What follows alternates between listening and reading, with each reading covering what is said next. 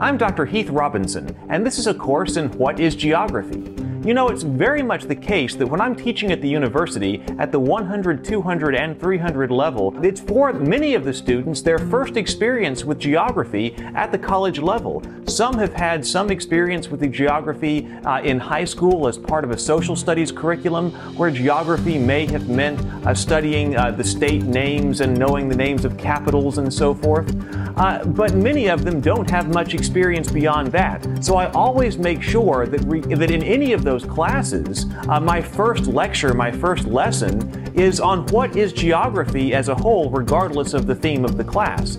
So that being the case, what I wanted to do was, was pull that material out into a standalone course and provide it to you so that everyone can get this broad background on what geography is.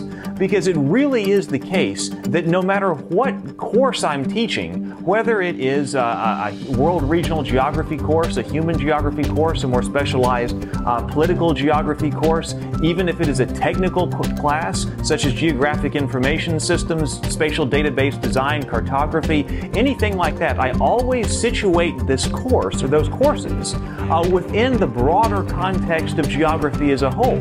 And so I like for the students to know where what we're learning in that particular class fits in to the broader scheme of things. And plus, I think it's very important that all of the students have that, that shared understanding of the background and, and the discipline as a whole in order to situate themselves within the discipline and what they're studying. So I'm very excited to have the opportunity to bring to you this video series and what is geography. I'll see you in the first lesson.